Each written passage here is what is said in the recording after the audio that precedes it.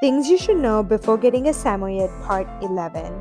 They are prone to primary or genetic glaucoma, which is extremely painful and can even lead to loss of vision. Boomer gets an annual eye exam to make sure his eye pressures look normal, which is a little more often than is needed. For symptoms of acute glaucoma, time is truly of the essence, so here are some things to watch out for.